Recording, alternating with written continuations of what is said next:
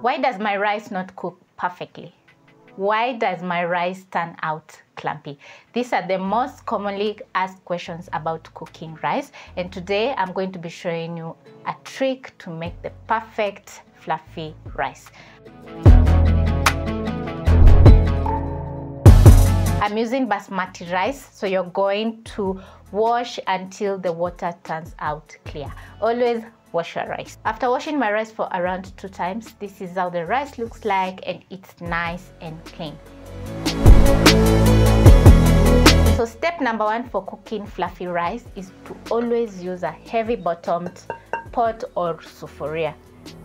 So I'm going to place my sufuria over high flame. For this recipe, I'm using two cups of basmati rice. So I'm going to add in four cups of water to my pot.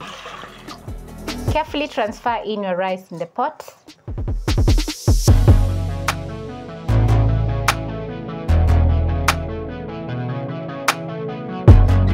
And step number three is to add in your seasoning. So I have some salt and two tablespoons of cooking oil.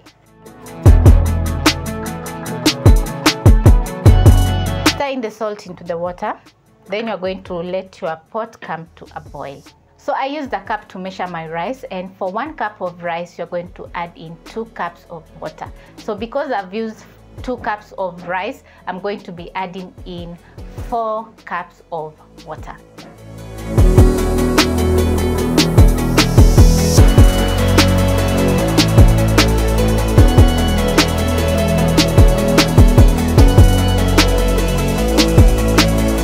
When the water is halfway reduced, you're going to pick your spatula and stir in to make sure the oil is evenly distributed in the rice. Then you're going to let the water reduce once more.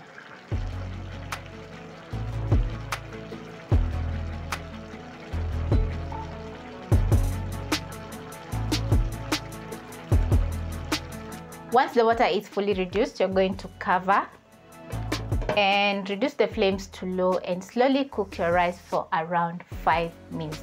This process is going to fully cook the rice because we have cooked the rice halfway. Whenever you're cooking rice, always go for the best quality if you want the best results.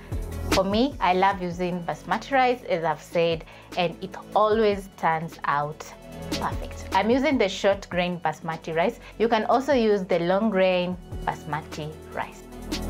After five minutes, I'm going to check on my rice. And this is how the rice looks like. You're going to use a fork and fluff up your rice.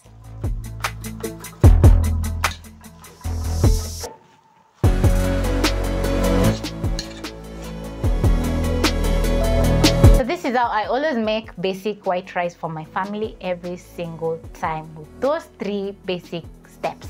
So I'm going to be serving my rice for lunch over some stew and it's going to be totally delicious.